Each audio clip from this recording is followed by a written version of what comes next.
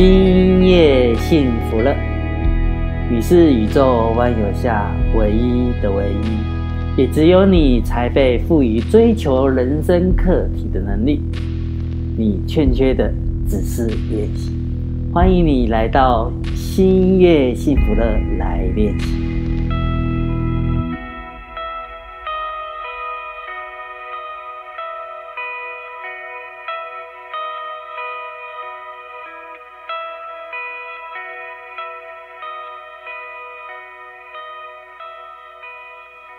好，亲爱的朋友，在空中跟大家见面。今天呢，想跟大家介绍一本哈，我觉得是意识能量学大师的经典之作哈。然后呢，他他的这本书新书叫做《沉浮之想》哈。然后是由三彩文化出的一本非常棒的书。然后我们今天也很开心的邀请到三彩文化的方瑜这个主编来跟我们分享这本书。先跟听朋友打个招呼吧。安老师好，各位听众大家好。嗯，可不可以先来介绍一下这个，就是这个大师的这个作者到底是谁呢？嗯，这个作者是那个大卫霍金斯博士。嗯，然后呃，这个作者其实他一生都在研究如何解决人类各种形式、各种形式的痛苦。对。然后他为了这个。呃，为了找出最有效的方法，他从医学、心理学、针灸、营养学，然后再到哲学、灵修门派、冥想等等，全部都有，就是涉猎去研究。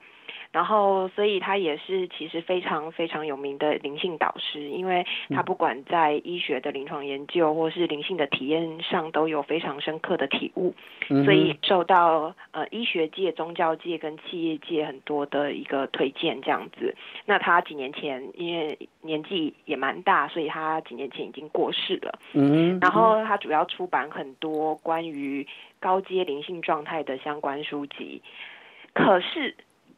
可是这么多年来，就是他发现学生跟听众一直都在问他如何解决日常生活的障碍，到底在该怎么办？因为大家会想说，他即便教大家很厉害的高阶的一些东西，可是大家还是会问他说，我们要如何面对日常的压力挑战？对啊，我们到底要如何摆脱我们的负面情绪？而且不要让它干扰到我们的生活，嗯，然后我们要如何消除多余那种不必要的感受跟杂念？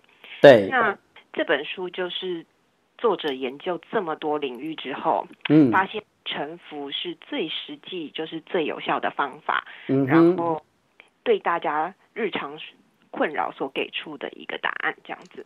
是，好好像哦，就是你练了那么多招，然后不，就这么一招就好了，对不对？对，你干嘛去绕了那么大圈？看过作者其他的书，然后因为他回到，而且是他比较晚年写的书，我想说，哎，晚年的书反而 反而真的就是回到他从很高的地方回来看这些东西，帮大家找出一个很简单的方法。是，就好像告告诉大家说，我跟你讲，你看了那么多书啊，不用看了，就看这一本就 就所有东西都涵盖了，对不对？就这么一招打遍天下了，对不对？应该说很实用，真的很实用。是，那可不可以来跟大家来介绍这一本书在谈的那个城府？哈，这城府在到底在谈什么呢？然后应该要怎么样来进行呢？嗯。沉浮其实是一个可以释放负面情绪，然后让我们重回自在的一个有效、简单的一个方法。对，它它可以为什么它很实用？因为它可以随时随地，而且一定有效。嗯，那是到底什么是沉浮？那沉浮的技巧其实就是。允许你的感受跟情绪浮现。嗯哼，什么叫允许他们浮现？就是你不要试着用任何方式或是努力去调整你的感受。嗯哼，在那边，然后这这也包含你要放下呃评断跟那些批判里面有很多的那个杂音，这样子，单纯的只要就是单纯的让感受存在，然后专注的让感受背后的能量释放出来。嗯，在这个过程当中，你要很清楚、很明白的不管什么样的感受，那只是一种感受而已。嗯所以臣服，我觉得我这样看下来，臣服很重要的一个关键就是放下想要抗拒一些负面情绪或不舒服感受的渴望，因为就是你因为很多人因为一直抗拒，所以才会让感受一直挥之不去。嗯，所以当你放，因为你想什么你就行什么嘛，那对你就一直处在那个状态，你就出不来嘛。对，然后臣服很神奇的，就是当你放弃抗拒，不再试图去调整你的感受，呃，与他共处之后，他反而会自动转换成下一个感受，然后这时候你会变得比较轻松。然后他的本身的感受还会慢慢的消散，然后背后的能量也会慢慢的消退。嗯是，对，然后很重要的一个，呃，为什么为什么会这样子？因为其实，嗯、他有说，嗯、其实真正折磨我们的，并不是事实，也不是我们的念头，是嗯这些伴随而来的感受。哦所以，很多很多人说啊，我好想解脱，我要去找答案。但事对实上，我们所有的答案都在我们里面。那作者他就说，其实解脱的办法不是找到答案，是让困扰的原因消失。那所谓的原因，其实不是说啊都是别人害的啊，都是他把东西弄坏，所以我现在很不高兴或者什么。所谓的原因都不在外面，所谓的原因，作者里面指的原因是你的感受。嗯是，对，因为念头跟事实本身其实不会造成痛苦哦，真正的痛苦来源是你的感受，然后你一个感受又可以再创造成千上万个念头，哦，然后就感觉就是十倍、二十倍、一百倍这样子，哎、哦又很多，我们就整个被带走这样子。那如果我们能够向内在的痛苦啊，去去的感受去臣服，那很多的念头跟压力，它其实马上就会消失，我们就会好过很多。那那消失了以后呢？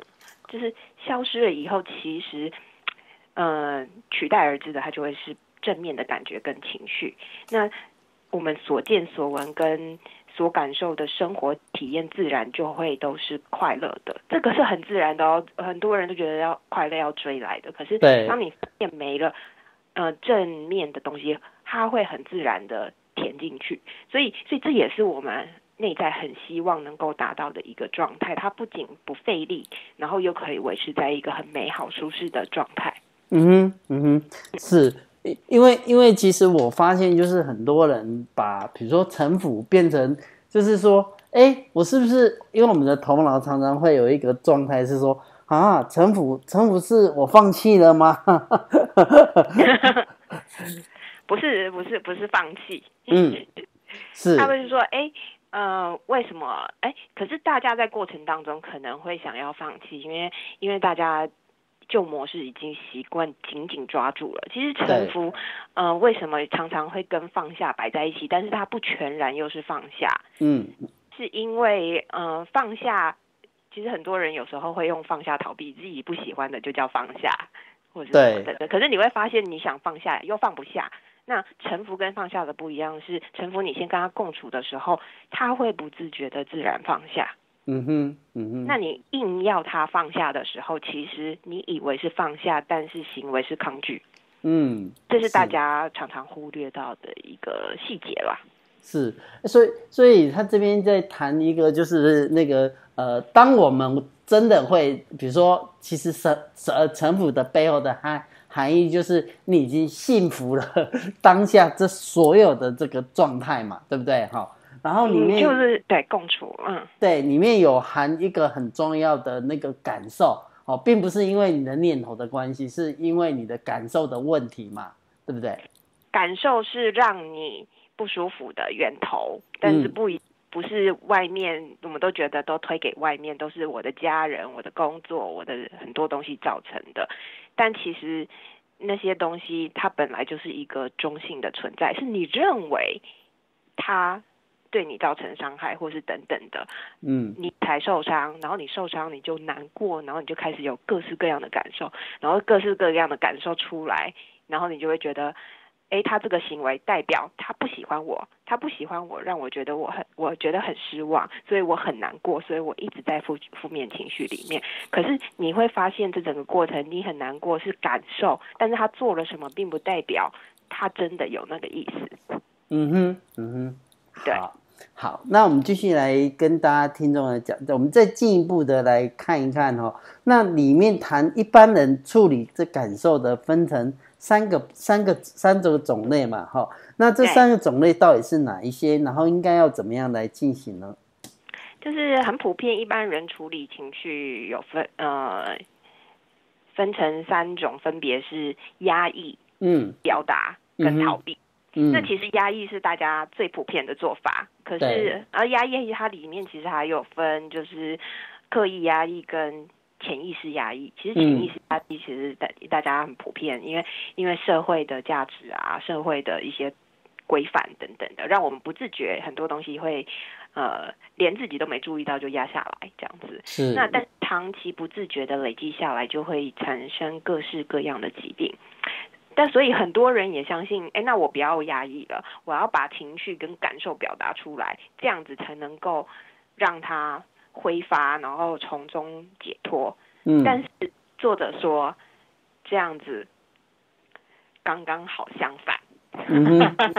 因为他说，当我们表达的时候，其实反而会把负面情绪放大跟渲染开来。对。然后这些感受反而容易会。更你你反而赋予它更大的能量，它不但挥之不去，有时候还会伤害到我们的人际关系，我们周围的人。是，所以嗯，还有一个很嗯，我觉得作者他因为他有很深刻的体悟，所以他还有提醒到我们一般人察觉不到的是，当我们把情绪发泄跟表达出来之后，其实都会有残存的感受自动压抑在我们不容易觉察到的内在。对。就是我们常常发泄完，我们好没有办法马上好，可是那个残温有没有？对，常常会处在我们的内在之处。嗯哼。那所以作者说，其实最好的方法就是为自己的情绪负起责任，我们要主动的消化跟化解。那这样子，我们所表达的就只剩下正面的感受。那这个消化，所以臣服是用来刚刚臣服就是用来作为就是消化跟化解这些东西的，嗯让它不存在。那第三个就是呃呃刚刚有提到的逃避。对。那逃避其实就是利用其他让人分心的事物，然后来躲避自己的情绪跟感受。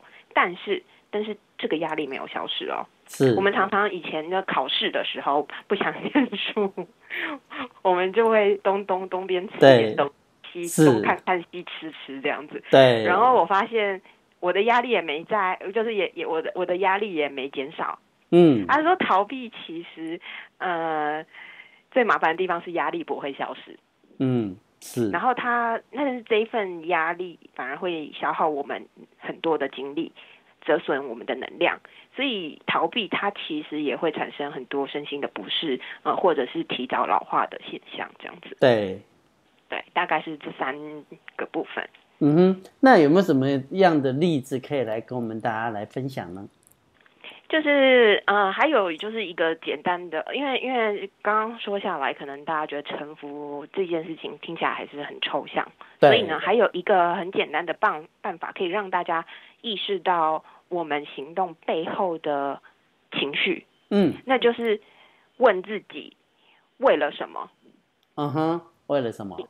你每跳出一个答案，就要一直问，一直问，一直问下去。嗯，然后一路问到底，你会发现，原来你潜藏的情绪是什么？那书里面就有一个例子跟大家分享，就是他可能里面有一个学员，他很想要一辆新的凯迪拉克。对，所以他心他的心智搬出各种头头是道的理由，但是逻辑上都说不通，所以他问自己说：“我为什么非要买凯迪拉克不可？”嗯，然后他自己就回答：“这样子我才能彰显出我的身份地位，能够获得别人的肯定跟尊重。这个就是证明我一般人成功的最好的方式，就是一方式之一。”嗯，然后他就说，又问自己说。为了什么？呃，为什么我要拥有这样子的身份地位，对，那他的脑海有答案又浮现，说我想要得到别人的尊敬跟认可。嗯，再问下去，我为什么要得到别人的尊敬跟认可？因为这给我安全感。嗯那嗯，我为什么需要安全感？因为我要有安全感，我才会快乐。然后就是你这样一直问下去，为了什么？就是就能挖出就是最底层的一个答案。是所，以最底层的答案是什么？这个人想要买新车的欲望是来自于他觉得自己没有安全感，嗯，快乐，缺乏成就感。嗯，所以就是我觉得这个东西还蛮还蛮厉害，因为每个行动跟渴望都能够显示我们基本的目的是为了实现某种感受，我们是又回到了感受。其实很多的物质欲望或者是等等，都是来满足我们的感受。所以，我们如果可以再从源头下手的话，其，实我们呃可以就是少走很多冤枉路啦。就是哦其实所有的共同点，唯一的目标都是消除恐惧，获得快乐。那呃情绪的连接到我们认定的物质啊，或是我们嗯欲望，可以确保就是呃一些感受。呃，表面层面的感受的满足，但是是它其实未必是真正有意义的事物。嗯，是没有你你知道吗？我在看这本就是呃《沉浮之想》的书的时候，然后也跟着、嗯跟着一些朋友也说，哎，来快点快点，我们一起来看几段哈，一起来来练习练习这个这一本书，然后然后我们再来提这一个问题哈。嗯，我对觉得很好玩。你呃，你就是我有跟朋友做练习，真的问到最后，大家都觉得，嗯，答案 就是殊途同归，你知道吗？那如果我一开始可以解决这个，我根本其实不需要以量行责任，所以人家很多会会用物，嗯就是这本书里面也会提到魅力，大家都会用，哎、表面其实把很多的恐惧跟不安感，呃，借由物质做一个盾牌，然后嗯等等的去做这样。可是可是作者一眼就不能一眼，他就是他累积的功力，他他马上就戳破我们很多很多的盲点。嗯，对对，所以所以你刚才讲的那个魅力是是指哪一个部分呢？就是其实我们现在社会上其实也有很多网红啊、网美啊，对，那那我们就会嗯，有时候而且我们社会上的广告真的好多，我们有时候其实会稍微迷失一下，是不是真的需要拥有这些东西，我们才嗯。能够证明自己，或者是我们真的要做什么样的打扮，或要有多时尚，我们才是真正可以吸引到别人来喜欢我们。对对，那作者其实就是也有提到这样子的一个盲点，因为我们社会上有许多包装跟美化，可是所谓的包装跟美化其实是幻想，它并不是就是真正的魅力，因为你嗯一旦就是不是真正的魅力，魅力你一旦去掉它的美化的那个外壳，那个魅力就不见了。嗯，是，对，所以呃，很多时候就是世界很多呃的广告等等要卖给我们，就是这种不真实，但是迎合呃一般人向往的浪漫美化的欲望。但是嗯很多时候，这但是最麻烦的地方，它很多时候你买到这些东西做完，你会发现。跟广告的结果是不一样的，最后还是空虚一场。那 那所以作者就就会把我们拉回来，告诉你就是什么是真正的魅力。其实真正的魅力其实是别人想要跟我们往来，并不是冲着我们有什么东西，或者是我们呃有什么样的社会标签，或者是我们有什么样的行头。其实是因为真正的魅力是它源自于我们是什么样的人，是是，对，我们所散发的特特质会会不会让人想亲近，然后会不会我们的存在能够能不能够带来诶给别人带来喜悦？那社会其实描述我们呃。他们不一定会描述这样有魅力的人是时髦的人，或是有名车的人，或是嗯收集很多古董的人。然后标签也不再是什么公司的总裁或董事会成员什么，别人会只会说他他是一个很棒的人，我很喜欢跟他相处，我很想认识他。嗯这这种就是呃真正有魅力的一个人，就是在他把所有的外壳全部卸下之后，你还是真心的很希望跟这个人认识跟相处，那这个就是他本身由内到而外的魅力了。嗯哼，嗯哼，是。那那就是最后可不可以剩一点点时间哈？他还有什么样的重点可以跟大家来分享这本那个《沉浮之想》的书呢？我觉得就不用带大家就进入更复杂的，就很简单。其实沉浮最重要，我们回到简单，沉浮最重要的一个目的就是消除一切的身心痛苦根源。嗯，这这听起来好像很夸张，但是其实事实也是这样子。因为说到底，其实我们很多的负面情绪跟感受都来自同一个呃源头。那当我们消除一定量的负面情绪，这个源头它就会跑出来。那这个源头被放下来之后，我们就不会再认同它，我们里面的小我也会就是瓦解。所以，所以这时候它痛苦的源头就会丧失丧失了他那个力量的一个基础。因为其实作者最后，嗯，也有提到，其实想要离苦得乐，其实我们真的是人心的一个本性。那也希望就是大家日子都能够过得如鱼得水。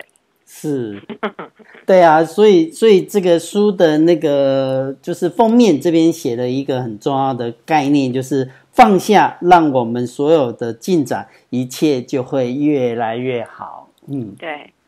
好，那今天谢谢那个看完这本书，我觉得好好也好想祝福大家。好啊，好啊，因为疗愈的一本书啦。因为因为我觉得就是大家读这本书的时候也会有这样子的感受。对，因为我觉得这本书那个就是呃还蛮好读的哈，并不是想象中这么困难。对。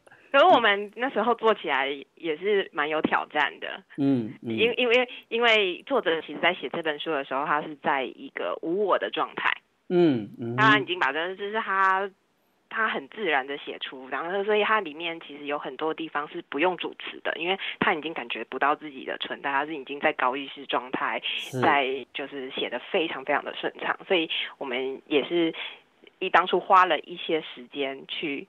希望能够把他的意思这样子接接出来，这样子是我觉得疗愈的最最佳最终 最终版的哦，对不对？对对对，哦，这其实其实大家觉得越复杂越厉害，其实未必。哦，是好，那那个谢谢方毅跟我们分享那个呃《沉浮之想》，然后那个三彩出的这本非常好的书，谢谢，谢谢安老师，谢谢各位听众。